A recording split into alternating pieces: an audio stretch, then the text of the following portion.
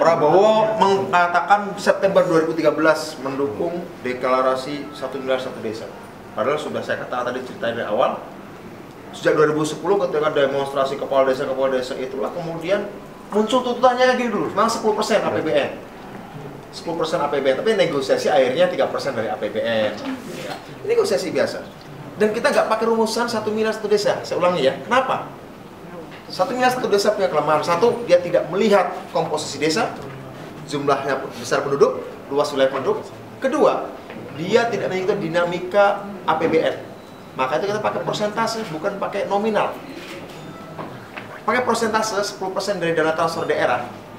Karena ketika APB-nya naik, dia ikut naik juga dengan persentase tetap. Tapi kalau satu miliar, ketika APBN 1400, 1600, 1800, 2000 atau 2500 triliun per tahun, satu miliar terus.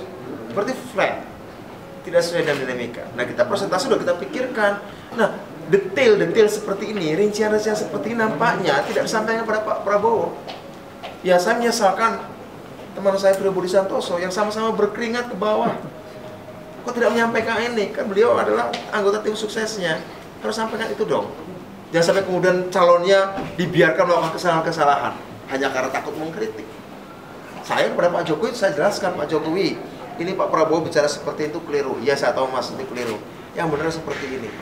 Diskusi adalah Pak Jokowi. Oh gitu, ya. Jadi Pak Jokowi juga jangan klaim bahwa program ini adalah program Pak Jokowi jangan klaim juga. Oh enggak, saya nggak klaim karena program desa kok nih siapa pun jadi presidennya. Makanya semalam juga Pak Jokowi mengatakan Prabowo dia ingatkan, ingatkan Pak Jokowi, eh, Pak Jokowi ingatkan Pak Prabowo.